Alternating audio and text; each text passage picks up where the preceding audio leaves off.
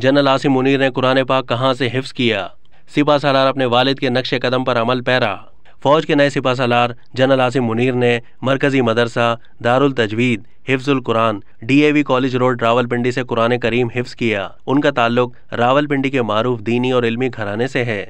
General Asim Munir खुद भी हाफिज कुरान हैं और उनके वालिद गिरामी भी हाफिज कुरान थे और उनके भाई ने भी कुरान शरीफ हिफ्स किया हुआ है। नए सिपा सालार के वालिद रावलपिंडी छावनी के तारिकाबाद स्कूल के प्रिंसिपल थे और इल्म अदब के हवाले से उनके वालिद ग्रामी ने बड़ा नाम कमाया है। उनको इल्मी दुनिया में बड़ी इज़्ज़त और तोकीर से नवाजा जाता है। वो आजजी और इनकसारी की एक रोशन मिसाल थे और उनके फर्जंद जनरल आसिम मुनीर भी अपने वालिद के नक्शे कदम पर अमल पैरा हैं।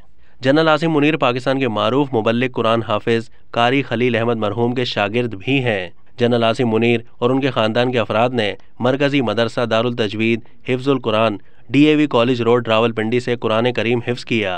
अब तक के लिए इतना ही। मज़ीद मालूम के लिए डेली जंग के यूट्यूब चैनल को सब्सक्राइब कीजिए।